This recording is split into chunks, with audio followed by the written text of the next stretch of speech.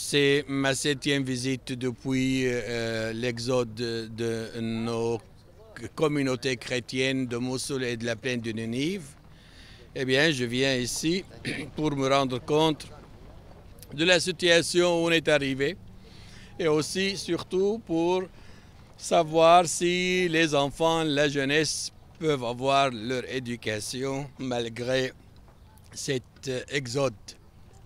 Et bien sûr, pour euh, féliciter tous et toutes ceux et celles qui se dédient pour euh, ces communautés déracinées de leur maison et surtout de leur donner un peu d'espoir que nous, que nous sommes avec eux, avec elles, dans cette euh, période d'épreuve et pour leur inspirer un peu aussi euh, un peu d'espérance que le monde, surtout les chrétiens, les catholiques de la France, se, euh, souviennent d'eux et d'elles et on est solidaire avec eux dans l'espoir qu'un jour sera euh, prochain puisse retourner chez eux.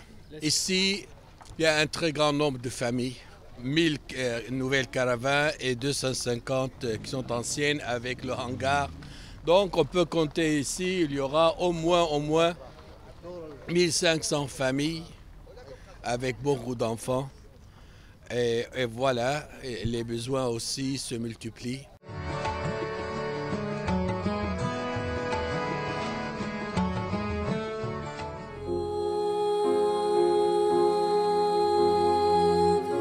Sous votre protection, ô très sainte Mère de Dieu, les chrétiens des églises d'Orient ont toujours trouvé refuge.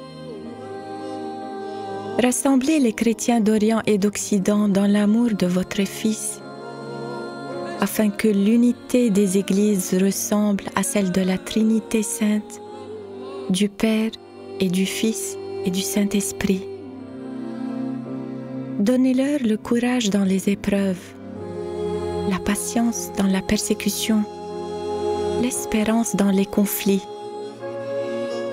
Ô vous, vraies filles d'Abraham, faites que les fidèles des trois religions, juives, chrétiennes et musulmanes, se traitent fraternellement en fils et filles du même Père, qui recherchent la paix en cette terre où parut le prince de la paix